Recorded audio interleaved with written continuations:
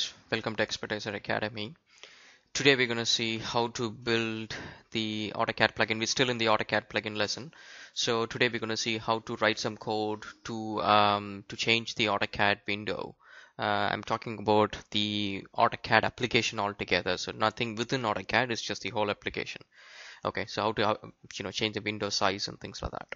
All right to get started um, so what we do is uh, another thing is some of the tutorials which um, generally if you follow through um, they don't talk about something which is very basic and that frustrates the beginners. It's just because they don't know okay how did they get to that point? So that sort of stuff.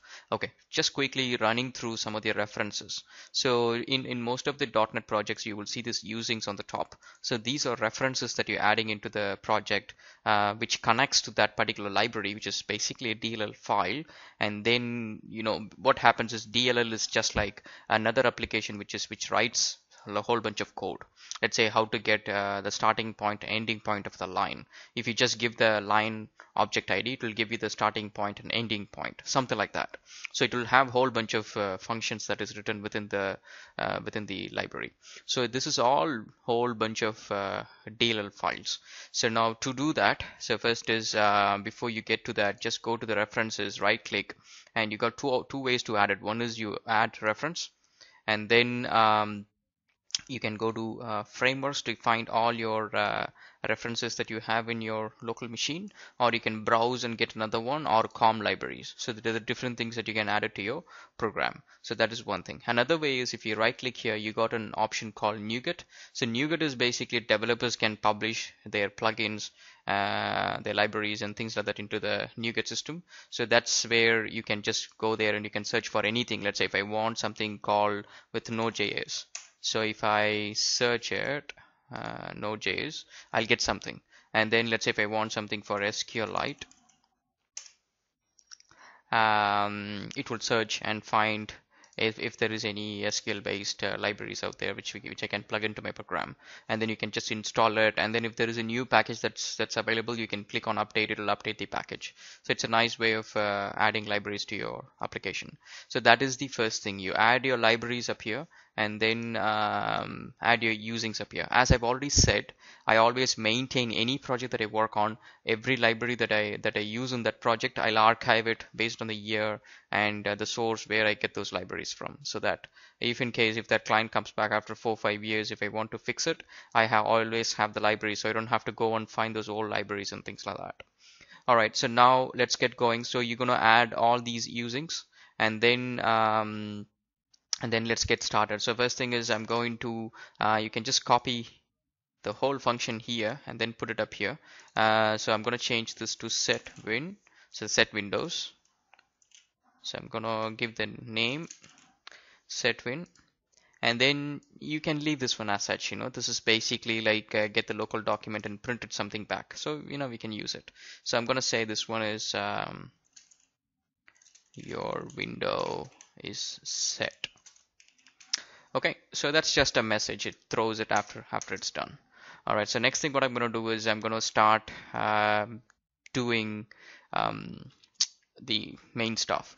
So remember we talked about uh, the object hierarchies within AutoCAD plugin. So the thing that we're going to access is the application services. Okay so I'm going to write first thing is document we already have that. We don't need to do that. So next one is set the position of the application window. So that's like position of the window. Okay. So that would be system dot windows dot point. And remember so this point function is also available in system dot drawing dot point so there are two types of points. Okay, one is system.windows.point, another one is system.drawing.points.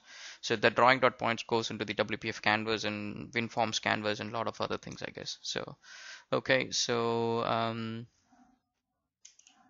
point and then new. I'm gonna say 0 comma 0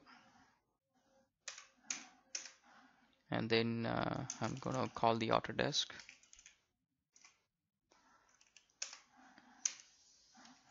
AutoCAD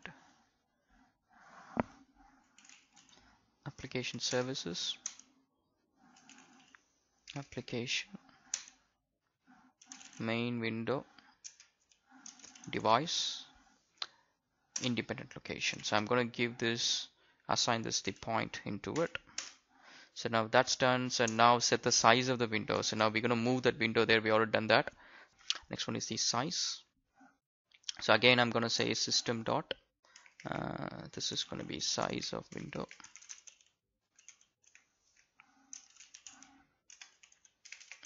Windows dot size. Uh, size win new.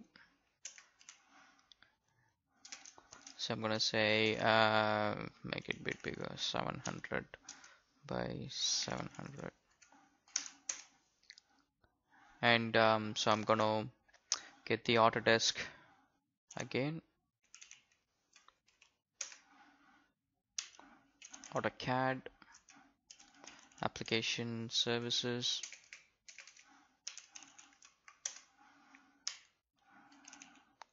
Application. Main window device independent size so I got two methods size I'm gonna assign this to the size size windows bang that's it Alright, so what we are doing is first we're setting the position so that it moves the AutoCAD. Let me open AutoCAD as well. So it opens, uh, it moves the AutoCAD to that location. Next one is the size of the AutoCAD window that we can set it as well. And uh, then we print a message. Okay, so that's uh, that's it for this one. So I'm just gonna right click and rebuild it. And um, so it's all success. Make sure that you check the error list and output just in case it doesn't say success. Okay, so that's all good. So now let's go back to AutoCAD. Let's make it full size window and that the command is going to be net load and choose this one and make sure that the time is right so it's built it correctly open always now the command is set win okay done so let's try again perfect. So that has done it and uh, thanks for watching guys. And then I'll add a little more uh, stuff in there. I'll go according to the AutoCAD uh, developer guide and then in between I'll also add uh, uh, some of my own learnings and lessons as well. So if you have any questions just put it on to the comment section. I'm happy to help. Thanks guys and have a great day